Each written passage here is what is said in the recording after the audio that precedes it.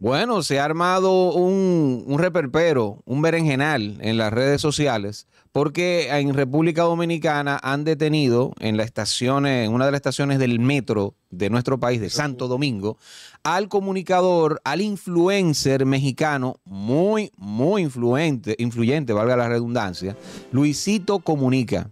Luisito Comunica hizo una diferenciación hace un tiempo entre dos malas palabras que usamos en República Dominicana. No la voy a mencionar, ¿verdad? Por respeto a todos ustedes, pero... No, pero usa los términos Exacto. o sea, él dice que él prefiere ser un succionador de glande. No, no, exactamente. A, ser un succionador de, todo el pene. De pito, de pito. Porque él dice que el que succiona glande lo hace, o sea, abarca menos de glande el, perdón, el, del pene abarca más. fue, esa fue la diferencia, ¿no? la dialéctica entre esa mala palabra que él estableció, que se hizo muy viral en nuestro país, muy divertida. El señor Luisito Comunica, entonces, señores, fue atrapado ahí en el metro. Eh, hay gente que se ha quejado en las redes sociales diciendo que, bueno, pero que fue una injusticia, esto que aquello, pero uno eh, cerciorándose con abogados, eh, suerte que llamé ahí, ¿verdad? A mi, a mi querido amigo José Martínez Brito, él me, me, dijo, no, espérate un momento, es que él está violando varias leyes, está violando varias cosas, no lo pude sacar porque el hombre tiene una audiencia. Eh, está violando varias cosas, entre ellas leyes del, creo que del Intran, ¿verdad? Nos mencionó cuando tenemos eh, también la misma de Gecine y la, del metro. Y la del mismo metro, que establece que cuando hay grabaciones profesionales o comerciales, pues usted es detenido inmediatamente, no se le impide si no tiene el permiso respectivo. Además de que para esos permisos. esa es la de Gecine. La de Gecine, no, y, no, y y hay que gastar cuarto. no hay que pagar. Hay que pagar, hay que pagar su billete. Y además, Luisito Comunica factura bien. O sea, que él no tenía problema en pagar permiso. Así que eh, creo que ahí eh, Luisito Comunica, eh, usted se la bebió. Mira, hay, que abordarlo de, diferentes aspectos, porque hay mucha gente que está diciendo que Luisito Comunica, como es un influencer de, de talla mundial, señores, recordaremos que Luisito tiene en su canal de YouTube más de 40 millones de suscriptores. En Instagram tiene más de 30 millones de seguidores. O sea que es un influencer de top 10 de, la región de Latinoamérica, pero tiene que estar en el, top 10 mundial también, ¿no? Sí. ¿Qué sucede? Y aquí yo destaco, primero puedo, quiero tocar lo que dice mucha gente que ha salido en su defensa, que para mí es defendible Luisito Comunica, porque evidentemente todo el que conoce el trabajo de Luisito sabe que él no iba a hacer nada mal. Pero lo que iba a hacer es comercial, porque le saca dinero. Entonces la gente dice, bueno, Luisito es un influencer, el, el gobierno dominicano lo que tiene que utilizarlo, porque eso le conviene a Dominicana que venga, que es verdad. Que él venga aquí, que haga una buena reseña del país, que tuvo una buena recepción, que no le fue mal, eso es estratégico. Y debe ponderando el gobierno. Es cierto. Pero Luisito no vino y se anunció con el gobierno que venía para acá. Esa es una. Dos, hay comparaciones ociosas diciendo, bueno, Luisito cuando fue a El Salvador, a ella se le permitió grabar las cárceles donde tienen atrapados a los de la Mara, Salvatrucha, etc. Y yo, bueno, sí, pero él no fue y se metió a la cárcel a grabar. Él fue e investigó. Y con la investigación solicitó los permisos y con los permisos entonces procedió a grabar.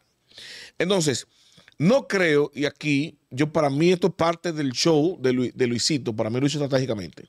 Bueno, yo voy a esto, seguramente me van a detener, yo pido excusa, ese va a ser mi branding, estoy en Dominicana hago mi video, meto eso como parte. Mi experiencia en Dominicana, fui, me metieron preso. y ese va a ser el delivery que va a utilizar en su canal de YouTube para el posicionamiento de su contenido. para que, estrategia de marketing. O sea, esa es una narrativa. el que lo metan preso está incluido en una narrativa. Totalmente. Y te voy a decir por qué brevemente. El canal de YouTube de Luisito Comunica, ¿verdad? Es moviéndose a través del mundo. El tipo vive viajando. El tipo no está hace un año en un país. El tipo viene a Dominicana, de aquí viaja a El Salvador, después baja a Perú. Ese tipo está en el mundo entero andando. Entonces, no hay una persona que conozca más de las diatribas, de las, de las diferentes formas y protocolos que tienen los países para tú no solamente acceder a los espacios públicos y privados, sino para tú poder sociabilizar con esa población que es distinta a tu cultura sin que te cause traumas. Porque tú, una persona que nunca ha viajado va a un sitio y hace una o realiza o realiza una actividad de alguna forma en que lo haría en su país y le va mal, porque culturalmente es diferente, tú dices, bueno, él no sabía. Ahora, cuando usted viaja a 10 países, usted tiene 10 choques, porque usted procede de una forma y los protocolos, las leyes, las costumbres, te obligan a actuar de otra. Ya para el onceavo que tú vas, tú vas precavido. Y tú eres muy prevenido. Y dices, mírame, en mi país yo puedo en un espacio público entrar y caminar. Aquí se puede. No sé si tú me entiendes. O sea, y más él que va comercialmente hablando. Entonces, yo sé que él y su equipo que le acompaña, porque él estaba ahí y se vio solo, pero no anda solo. Yo sé que él y su equipo sabe y se preparan. Y a cada país que viaja, lo primero que busca son los permisos de las situaciones que lo hace. Bueno, yo voy a grabar, allá se puede andar así sin problema. No me quitan lo- los equipos. Yo no tengo que buscar un permiso para estar a tal sitio. Yo sé que todo eso lo investiga. Porque el tipo anda a todos los países del mundo. Y venir aquí y meterse en un espacio público y grabar, para mí, más que un error, una novatada, fue una intención. No creo que haya sido un error. Y aquí no, no pueden alegar desconocimiento, no, no tiene que conocerlo. Si usted viene con la precaución, usted se acerca. Nos dice, mírenme, eh, ah, mírenme, yo soy bloguero, youtuber, yo quiero hacer un video aquí en el. Pero no hay problema con que yo cruce. Y tú le preguntas a cualquiera de los que están ahí, un guardia de esos, de los que estaban ahí, de la seguridad del metro, mírenme, yo soy youtuber, me voy a meter, me voy a grabar, ¿se puede?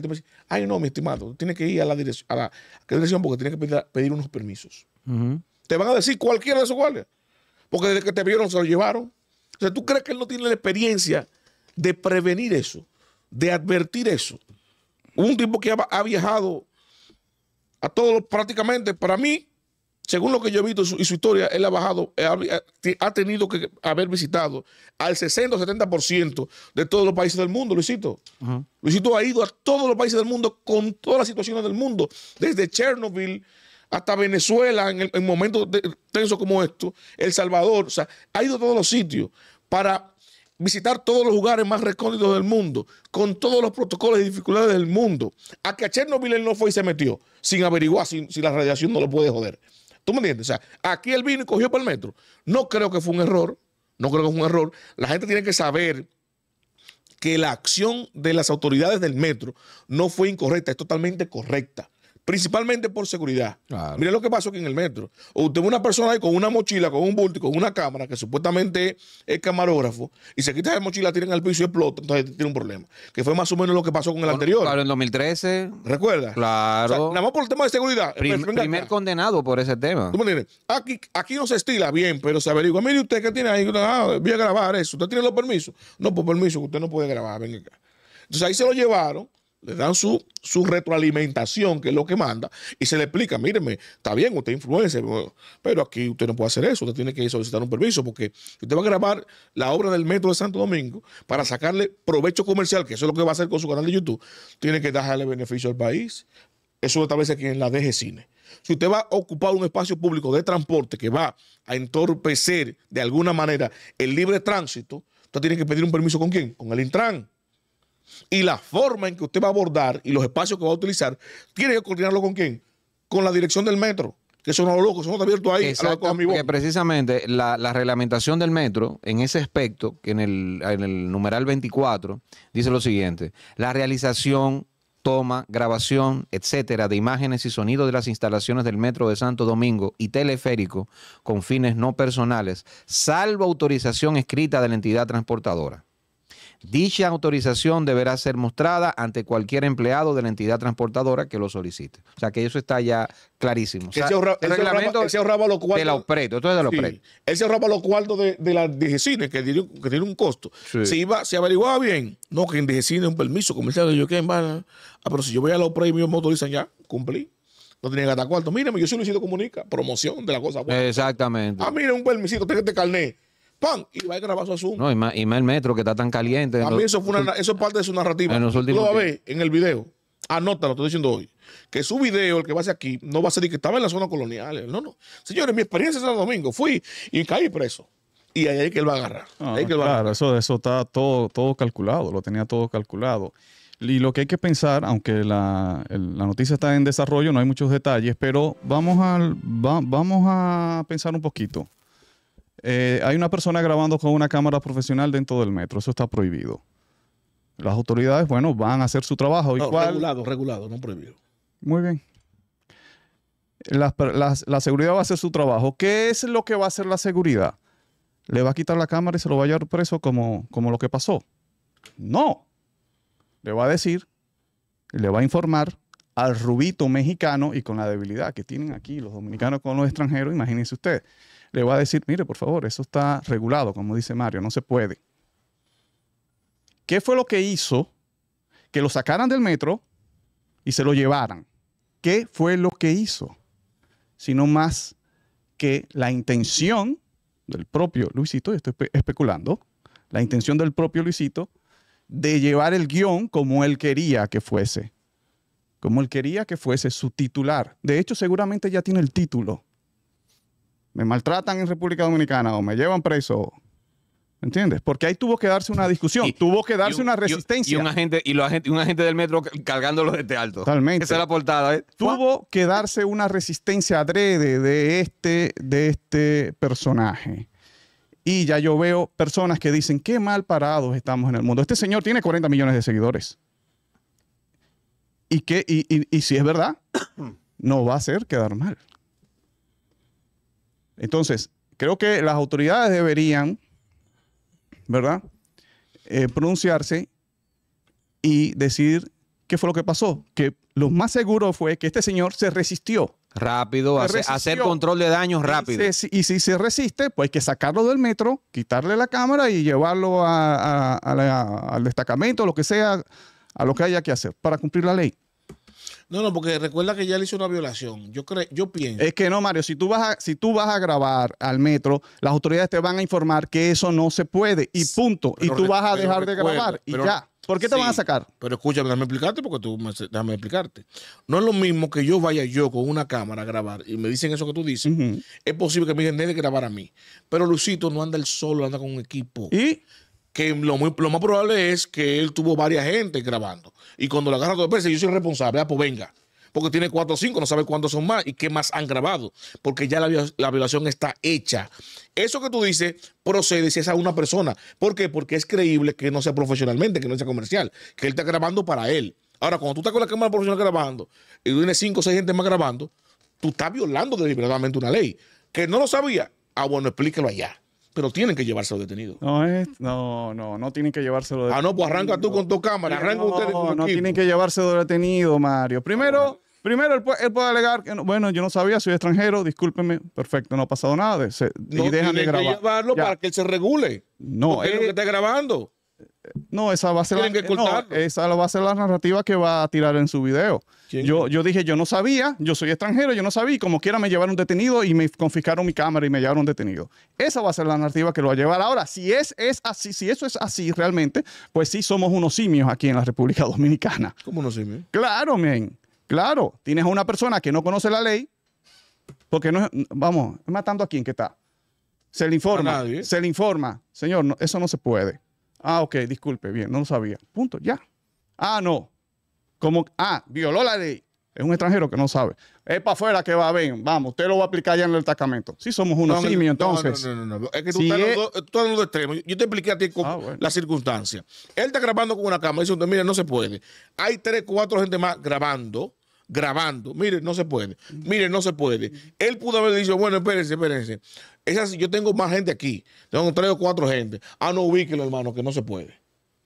Y ahí se va. Yo lo que te digo a ti, yo que te digo a ti, ese es el proceso que debe Ahí llevar va el preso. metro. No, es el, no, lo que están es, no, lo están, le están, eh, pre- pero déjame terminar la idea. porque- Pero ya, ya es que ya te entendí. no, tú no me entiendes, tú, pero la gente quizá que, que me escuche, no. Una cosa es que tú le digas a una gente, mírenme, usted no puede, tenga cuatro y cinco, y después él sale, bueno, yo tengo cinco gente grabando, yo lo que vine fue a grabar. Si no puedo, pues me salgo de aquí. Ah, bueno, camino y lo corten. Ahora, ese hecho que tú dices se pudo haber dado porque es la narrativa de él. Es la nar- narrativa de, de- Luisito, porque es lo que está buscando la controversia para hacer su video. ¿Me entiendes? Y cuando viene a ver, él mismo provocó eso, que- que lo escoltaran, como tú dices, eh, eh, Luisito. Ahora bien, no es que seamos, que sea unos simios aquí en Dominicana, sí. El metro escolta a una persona que esté violentando esa ley por el tema de seguridad. Te expliqué. Si usted, si tú me dices a mí que tú estás grabando y, y eres tú solo y tú me dices que no vas a grabar, pues yo te, yo te chanceo. Ahora, si tú me dices a mí que son cinco y andan los cinco con cámara y con mochila, por nada más por el tema de seguridad, pues yo lo ubico los cinco. No sé si son cinco. Pero un ejemplo, pon su que sean tres, pon que sean cuatro. Yo estoy poniendo un ejemplo. Yo lo que sé es que él solo no anda y no él solo que graba. Entonces, nada más por el tema de seguridad, por seguridad, si usted me está grabando usted solo, yo usted lo, freno. Mira, no ha pasado nada. Yo tengo cinco gente, los cinco con mochila y con cámara. En tema de seguridad, ¿qué es lo que va a proceder? Yo tengo que inter- interceptar a mis cinco gente, pero se ven acá los cinco. ¿Qué es lo que está pasando? Estamos grabando. Ok, yo les creo que están grabando, pero aquí no se puede grabar. Vengan por aquí, vamos a, vamos a ver qué es lo que tienen arriba en la mochila. Que- Porque así fue que pasó lo que pasó en el 2013. Estoy en shock y no sé cómo contarles algunas cosas que pasaron el día de hoy. Ya dijo él. sí, claro. Como Claro, que no sé cómo explicarle. Son vainas que tú dices.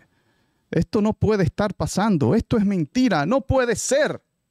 Diablo. pero- Ahí hubo una agresión. Mierda. Según esto, hubo una agresión, una desconsideración de los simios que están custodiando el metro de Santo Domingo. Y esto, 40 millones de personas, eso es lo que van a... No lo van a creer. Por un pana que viene a hacer una película aquí. Todo guionizado. Coño, está fuerte, man. Ahora, pero ¿quién, quién es que está mal? Él es que está mal. ¿La que- autoridad o lo que, o lo que creen Él es esta que vaina? mal, Él es que está mal. No se, Y también lo que está- creen esta vaina. Y no se puede. El pana se puso el remolón y se hizo lo y lo sacaron del metro. Y lo, Punto. y lo que creen esa vaina, porque dime. Bueno. Qué lío este. Esta es la quinta pata. Mario Herrera, José Maracayo, Odin Cruz. Recuerda suscribirte, activar campanita, darle a me gusta para seguir creciendo. Y recuerda, estamos en el canal 503 de Win TVO para el Gran Santo Domingo. Eso es Siembra TV. De 1 a 2 de la tarde, retransmisión de 8 a 9 de la noche. Y también nos vemos por los principales canales de cable del Cibao Central.